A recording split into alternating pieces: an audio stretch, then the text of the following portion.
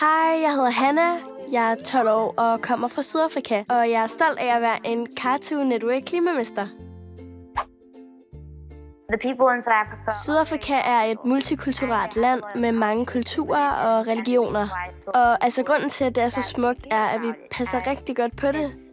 Det er virkelig flot, og det håber vi, at det altid bliver ved med at være. My favorite animal Mine yndlingsdyr i Sydafrika er elefanten og løven. Og det er to arter, som bliver meget påvirket af klimaforandringer, og det er ikke godt. Vand er blevet en mangelvare for dem, og hvis de ikke kan få vand, er det meget farligt. Jeg bruger et system med genbrugsvand, der sparer godt på vandet. Det brugte vand fra vaskemaskinen kommer ind i huset og bruges til at skylle ud i toiletterne med. Her er en spand med genbrugsvand fra vores tøjvask, som vi bruger til toiletskyld.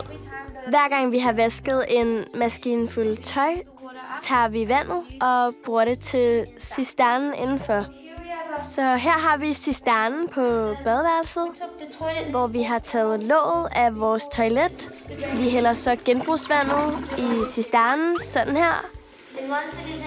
Når der er nok, bruger vi det til at skylle ud i toiletterne this is a bucket. Det her er en spand med regnvand, som jeg har samlet i den her uge. Vi bruger vandet fra under hanerne og fra brusebad som genbrugsvand. Vi samler regnvandet i en stor beholder. Det vand, vi samler, bruger vi blandt andet til at vande planter med. Den her plante her, og den her plante herover.